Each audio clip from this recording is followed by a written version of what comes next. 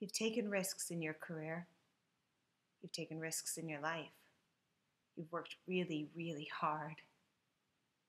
Everyone didn't understand it at the time, but now you've reached a new level of impact, a new level in your career. And now what? Now what do you do?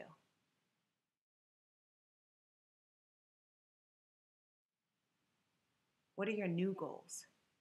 What are the new dreams? Who do you surround yourself with? What are you worth?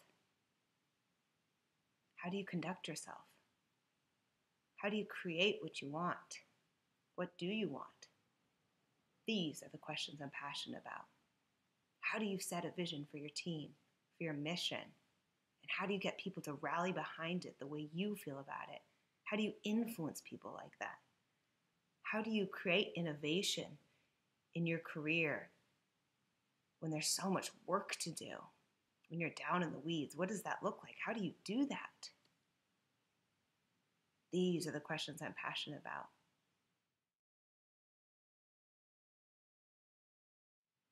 This journey of self discovery for thought leaders, for entrepreneurs, for creators, for visionaries, for entrepreneurs, for leaders everywhere.